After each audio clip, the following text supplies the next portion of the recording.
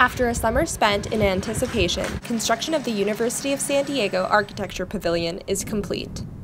Juliana Maxim is the director of the architecture program and has been involved with this project every step of the way. We conceived the space as multifunctional, which means that it's more than just a workspace in the classroom. It will also function as a lecture space. So when we have visiting scholars, when we have guest lecturers, uh, some of the furniture can be rearranged very easily. USD architecture students collaborated with local architect Rob Quigley on the design of the pavilion. Quigley is a pioneer for sustainable design, which is reflected in the construction of the architecture pavilion. Uh, there is natural ventilation. There is um, natural light throughout the day. It's probably one of the few spaces on campus that does not need any electricity to operate. Architecture students are excited about their new space and the opportunities it will provide.